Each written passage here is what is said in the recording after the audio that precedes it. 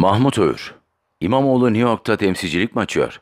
İP Genel Başkanı Meral Akşener'in başbakan olacağım bombası bir süre Millet İttifakı'nı gündemde tutar ama o ittifakı yaralayacağı da çok açık.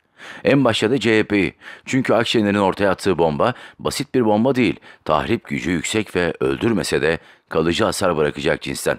Yara henüz sıcak olduğu için CHP bunu fark etmiş değil. Büyük ihtimalle de fark ettiklerinde iş işten geçmiş olacak. Çünkü Akşener'in İmamoğlu hesabı CHP'nin daha doğrusu bazı CHP'lilerin hesabını alt üst ediyor. Önceki gün bunun ipuçlarını yazdım. Önümüzdeki günlerde de Millet İttifakı liderlerinin bir araya gelip yeni yol haritasını görüşeceği söyleniyor.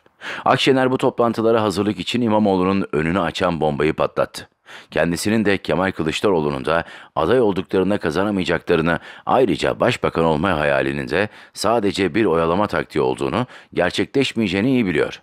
Kesici gül ihtimali. Bu yüzden ortak bir adayla seçimlere gitmenin yolunu arıyor. Sorun da o adayın kim olacağında. Birileri İlhan Kesici, birileri de hala Abdullah Gül adını dolaşıma soksa da hiçbiri kabul görmüş değil. Görme ihtimali de yok gibi. Kılıçdaroğlu hala kafasından silemediği Gül'ü son dakikada devreye sokar mı bilemem ama Akşener'in oğlum dediği İstanbul Büyükşehir Belediye Başkanı Ekrem İmamoğlu devrede ve o gün için büyük hazırlık yapıyor. Onun Cumhurbaşkanı olmayı değil, başarılı belediye başkanı olmayı istiyorum demeye zorlanmasına bakmayın. Belediyecilik ve İstanbul onun umurunda bile değil. O halka hizmet yerine kadrolarını oluşturuyor. Sadece şunu söylemekle yetinelim. İstanbul Büyükşehir Belediyesi iştiraklerine yüzü aşkın yönetim kurulu üyesi ataması kimseyi işten çıkarmayacağı sözünü verdiği halde akıl almaz bir kıyım yapması bunu gösteriyor. Rakamlar dehşet verici. Birkaç gün önce AK Parti Esenler Belediye Başkanı Tevfik Göksu açıkladı. İstanbul Büyükşehir Belediye'den 13 bin aşkın emekçi işten atılmış, yerine de 45 bin yeni işçi alınmış. Bu neyin işareti? İsrafın da haddi hesabı yok. Su gibi para harcıyor. Araştırma şirketlerinden internet sitelerine, gazetelerden televizyonlara inanılmaz para akıtılıyor. Bütün bunlar bir hazırlığın işareti değil de nedir? Yeni karargah, karanlık oda. İşin doğrusu başka işaretler de var. Mesela İstanbul Büyükşehir Belediye Başkanı İmamoğlu adını koymasa da bir siyasi parti gibi Ankara'da temsilcilik açtı. Başına da tecrübeli gazeteci Şükrü Küçük Şahin'i koydu.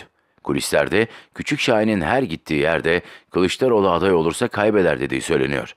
Ama daha ilgincini Birleşmiş Milletler toplantıları için gittiğim New York'ta duydum.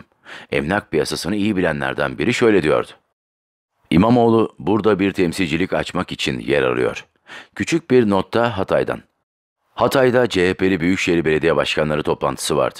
İstanbul'da Kılıçdaroğlu'nu karşılamadan Hatay'a koşan İmamoğlu'nun burada bazı başkanlarla özel görüşmesi ve İstanbul'a davet etmesi dikkat çekiciydi.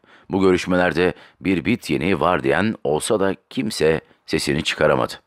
Anlayacağınız hafta sonlarında İstanbul'da bir gazetecinin evini karargah yapan İmamoğlu 2023'e bütün gücüyle hazırlanıyor.